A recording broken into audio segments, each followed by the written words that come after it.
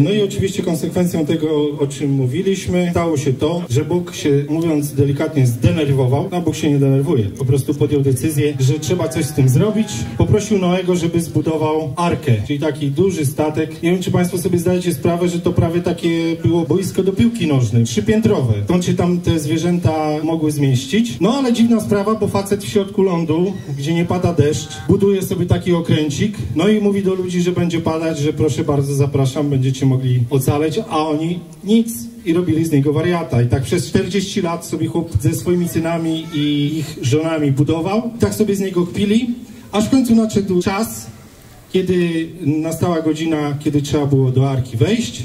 No i zaczęły zwierzęta zmierzać do arki. I będzie teraz piosenka o tym, jak sobie zwierzęta różne, różne, rozmaite zmierzają w stronę arki.